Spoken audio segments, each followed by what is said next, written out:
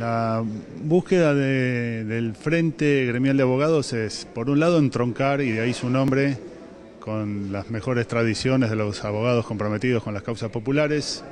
El nombre gremial en el Frente se corresponde con, el reconocimiento a la vieja gremial de abogados de Buenos Aires, que era el, ámbito donde se reunían los defensores de presos políticos. Y la expectativa del Colegio para Todos, eh, y de allí la, la vocación de la lista, es tratar de poner al colegio en una plataforma de visibilidad para tomar la voz pública respecto de muchas cosas que hasta ahora el colegio a lo largo de sus distintas conducciones no han hecho. Eh, que tiene que ver con discutir el rol del abogado, del colegio y de la expansión de derechos que estamos teniendo y de ponernos al día con esas cosas. Cuando digo expansión de derechos me refiero a un conjunto de reconocimiento de derechos civiles, políticos, culturales, económicos que se han venido dando por vía de la ley de medios, el decreto 222, la ley de migraciones, la ley de refugiados, la ley de salud mental, la, aprobación de la Convención de Belén do Pará de Protección a la Mujer, la ley del recién nacido, digo, entre otras muchas. Y se acerca la reforma del Código Civil y Comercial, así que allí también hace falta una plataforma con visibilidad para el colegio. Las iniciativas que tenemos apuntan, insisto, a darle una voz nueva al colegio, comprometida con, con las causas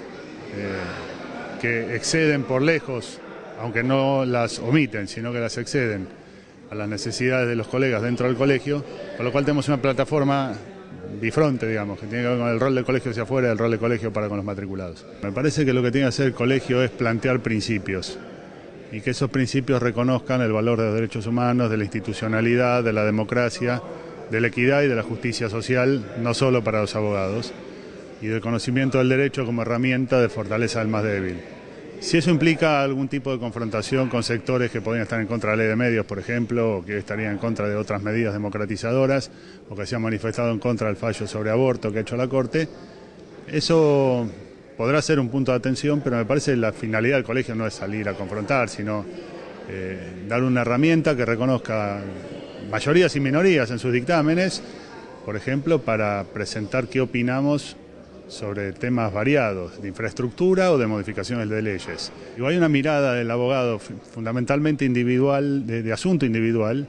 eh, y que eso conlleva además el diseño que se entiende por un abogado exitoso. Y es un paradigma complejo, porque después trasunta en el modo en el cual los jóvenes salen a la profesión. Es muy difícil plantearse cambiarlo. Lo que sí queremos es darle visibilidad que existen otros modos del ejercicio del derecho y otros paradigmas de éxito que no sea la recaudación económica a fin de mes.